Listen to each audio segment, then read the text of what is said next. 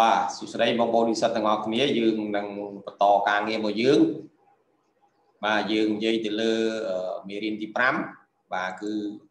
គណនីត្រូវទទួលបាទបាទយើងចូលគណនីត្រូវទទួលបាទដែលយើងហៅថា accounting for receivable បាទគណនីត្រូវទទួលបាទអញ្ចឹងនេះជាឧទាហរណ៍ទេបាទតកតងនឹងអញ្ចឹងអីទៅហៅថា receivable បាទអញ្ចឹង receivable គឺយោងទៅលើបាទតម្លៃបាទដែលអតិជនជំពាក់ក្រុមហ៊ុនឬក៏ក្រុមហ៊ុនដែលជំពាក់ក្រុមហ៊ុនបាទដែលថា receivable សំដៅលើអតិជនជំពាក់អាជំពាក់មានដូចជាទិញតំណែងទិញសេវាជំពាក់តាមរយៈការខ្ចីលុយជាដើមបាទឬក៏បុគ្គលិកអវងលុយបាទខ្ចីលុយចាយមុនណាបាទហ្នឹងគេហៅកទឹកក្នុង receivable ដែរអញ្ចឹង receivable គឺជាការបាទទៀមទាបាទនៅសាច់ប្រាក់នាពេលអនាគតឬក៏ត្រូវប្រមូលនាពេលអនាគតបាទហើយអ្នកគ្រប់គ្រងបាទឬក៏ការគ្រប់គ្រង receivable គឺវាមានសារៈសំខាន់សម្រាប់បាទក្រុមហ៊ុនលក់ទំនិញឬក្រុមហ៊ុនសេវាកម្មបាទហើយនេះជាឧទាហរណ៍បាទតើត receivable ក្រុមហ៊ុនមួយចំនួនបាទធំធំបាទដូចជាក្រុម Ford Electronic បាទក្រុមហ៊ុន 3M Nopon Intel ជាដើមនេះជាទំហំ receivable បាទចឹងក្រុមហ៊ុន Ford គឺ receivable គាត់ច្រើនណាស់បាទបើធៀបទៅនឹងទ្រព្យសកម្មសរុបគឺ receivable របស់ក្រុមហ៊ុន Ford គឺមានរហូតដល់43.2បាទបាទនេះជាឧទាហរណ៍តកតនឹង receivable បាទបាទអញ្ចឹងយើងបន្តទៅទៀតបាទប្រភេទ receivable បាទអញ្ចឹង receivable យើងមាន3ប្រភេទអញ្ចឹងយើងដឹងថា account receivable បាទ account receivable គឺយ៉ាងម៉េចអញ្ចឹង account receivable គឺ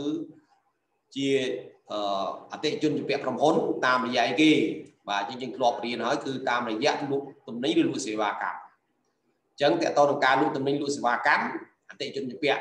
ក្រុមហ៊ុនហ្នឹងគេហៅថា account receivable ប្រែថាគណនីត្រូវទទួលឬក៏គណនីអតិអតិថិជនបាទហើយការជំពាក់អាច30ថ្ងៃឬក៏60ថ្ងៃឬក៏ច្រើនជាងនេះ បាទមួយទៀតគឺតកតង note receivable បាទ note receivable គឺមានន័យថាអតិជនជំពាក់តាមរយៈខ្ចីលុយបាទបើថាអតិជននឹងជំពាក់ខ្ចីលុយ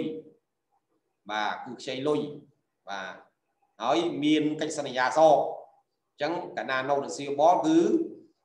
សងតកាសងទៅដើមបាទបាទឬក៏គេហៅម្យ៉ាងទៀតហៅ trade receivable ក៏បានដែរអញ្ចឹង note receivable និង trade receivable ដូចគ្នាទេ បាទហើយការជំពាក់អាចពី60ទៅ90បាទហើយមួយទៀតហៅ other receivable បាទ other receivable វាដូចជាអតិជនជំពាក់ការប្រាក់យើងបាទជំពាក់ការប្រាក់អឺបុគ្គលិកខ្ចីលុយក្រុមហ៊ុនបាទ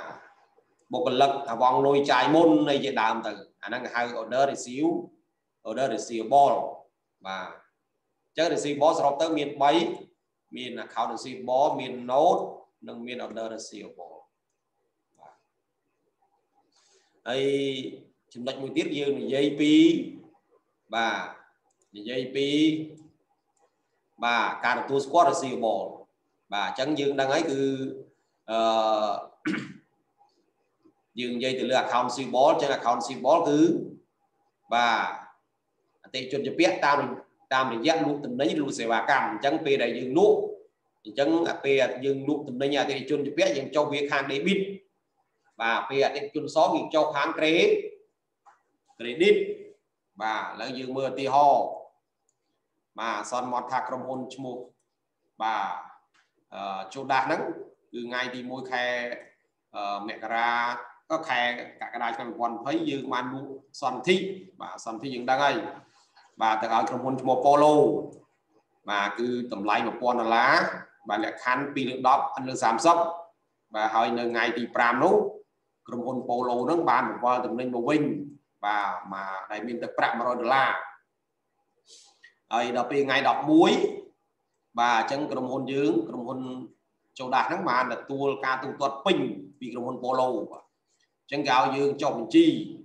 បាទនេះមេរៀនទី1ហើយក្នុងនេះយើងអត់មានគិតថ្លៃដើមទេបាទគឺយើងចុះតាមប្រព័ន្ធ per redic បាទអញ្ចឹងការចុះបញ្ជីគឺយើងចុះអញ្ចឹង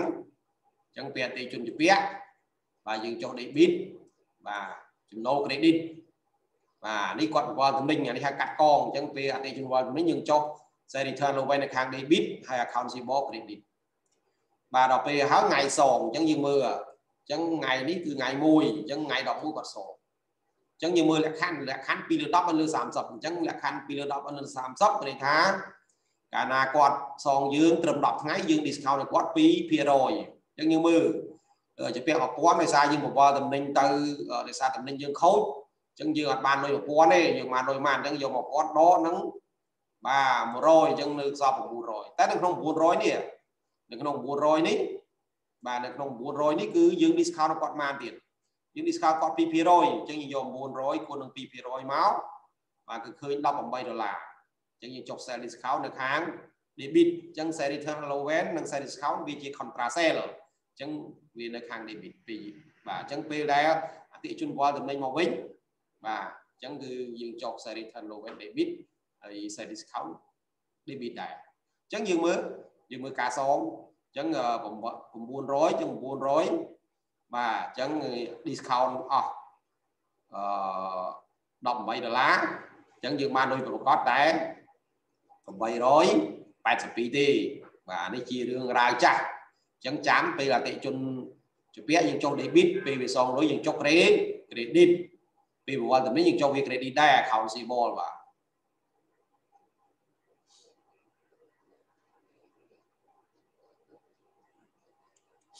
បាទនេះទីហោមួយទៀតតកតនឹងនឹងដែរបាទវាស្តៀងគ្នាទេបាទអញ្ចឹងយើងសន្មត់ថាក្រុមហ៊ុន បាទ J Penny ហ្នឹងបាទប្រើប្រាស់ credit card បាទដើម្បីទិញទំនិញដែលមានតម្លៃ300ដុល្លារបាទហើយការចុះរបស់យើងគឺចុះចេះបាទនេះយើងចុះ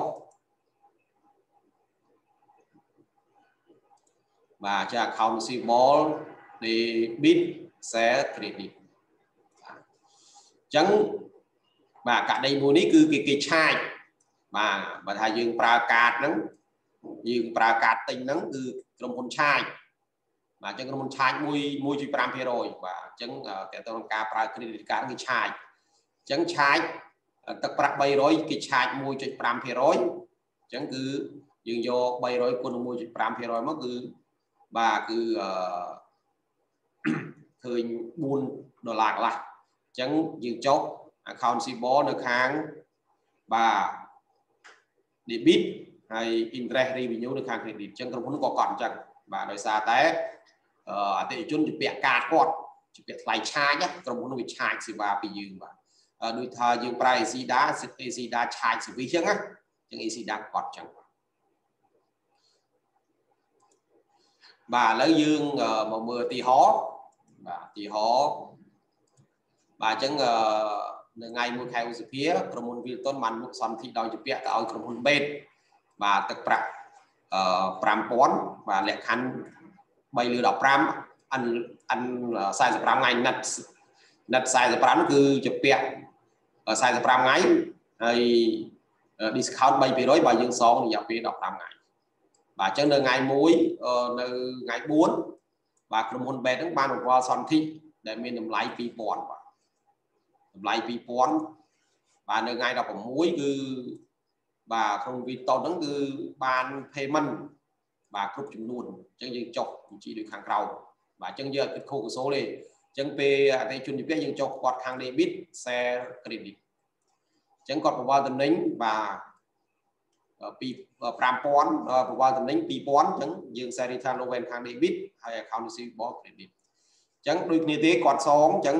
ជាពាក់5000ដោយសារវល់តំណែងមក2000អញ្ចឹងនៅសល់មកអញ្ចឹងនៅសល់តែ48000 ក្នុង48000យើងមើលថ្ងៃបាទយើងមើលថ្ងៃពីថ្ងៃ1ដល់ថ្ងៃ16គ្រប់អត់បាទអញ្ចឹងពីថ្ងៃ1ដល់ថ្ងៃ16គឺគ្រប់ហើយបាទគឺគ្រប់ហើយបាទគ្រប់15ថ្ងៃហើយបាទយើងយក11ដកនេះមកឃើញ15ថ្ងៃបាទអញ្ចឹងយើងយើងមើលអឺពាក់48000យើង discount 3%អញ្ចឹងគឺយើង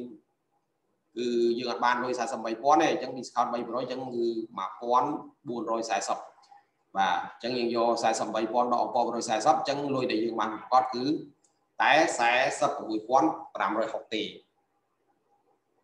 បាទអញ្ចឹងចំណុចទី1នៅក្នុងមេរៀនទី5ខ្ញុំសូមប៉ុណ្ណឹងសិនបាទដើម្បីកុំឲ្យច្រើនពេក